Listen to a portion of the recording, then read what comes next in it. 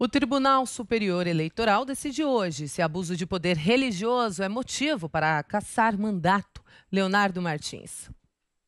O Tribunal Superior Eleitoral retoma hoje o julgamento sobre o chamado abuso de poder religioso nas eleições. Os ministros vão discutir a cassação do mandato da vereadora Valdirene Tavares dos Santos, eleita em 2016 no município de Lusiânia, em Goiás. Ela é pastora da Assembleia de Deus e foi acusada de usar a igreja para garantir a reeleição. Em junho, o relator da ação, o ministro Edson Fachin, se posicionou a favor de enquadrar a prática como crime eleitoral, já nas eleições deste ano.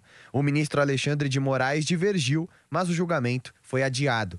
O advogado especialista em direito eleitoral Renato Ribeiro de Almeida afirma que se o entendimento de Faquim prevalecer, cada caso deverá ser analisado com cautela. Apenas para pontualmente punir situações extremadas em que se coloca a religião como um cabo eleitoral para determinada fé, e isso sim não pode ser tolerado. Mas situações em que o próprio eleitor decida por aquele candidato porque ele tem determinadas ideias que são afetas à sua própria fé, isso não pode ser objeto de qualquer tipo de cerceamento por parte da Justiça Eleitoral. A discussão será retomada com o voto do ministro Tarcísio Vieira de Carvalho Neto.